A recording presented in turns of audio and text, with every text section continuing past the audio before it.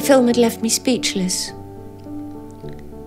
I was blown away, as was Stephen, as was Jonathan, by the power of the emotion in the film, all of which was absolutely genuine.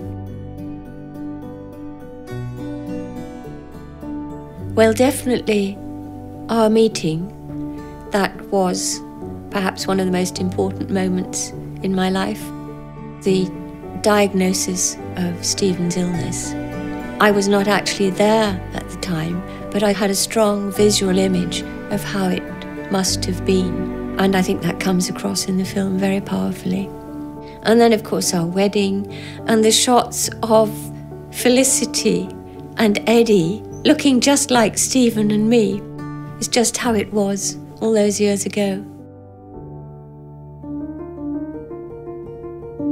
I first saw Eddie playing Stephen, not in the film, but while the filming was taking place in Cambridge.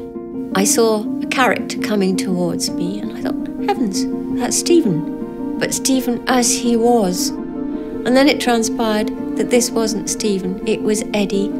I went up to him and I said, Look, Eddie, if you're going to play Stephen, you're much too tidy. So I ruffled his hair for him, which was a nice introduction. Stephen invited me to go to a May ball in Cambridge. And in the film, it's a pretty near perfect recreation.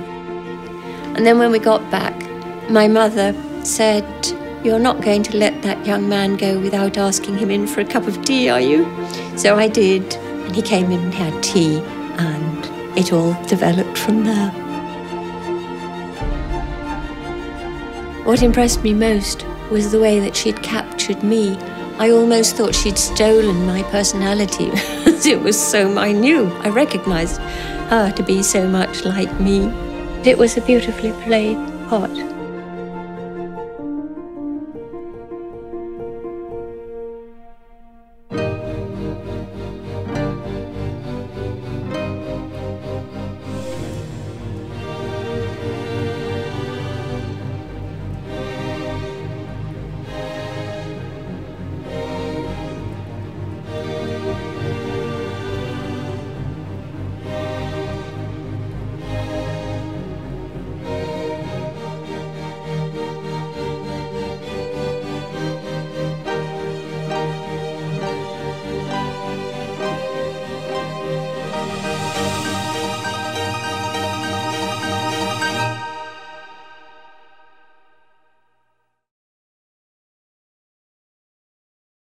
Now, what I've got for you today is method acting at its best.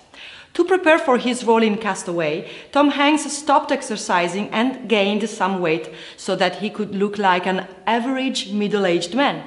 When the scenes requiring a pudgy Tom Hanks were completed, the production was put on hiatus for a year to allow Hanks to lose 50 pounds and grow out his hair for the time his character was stranded on the island.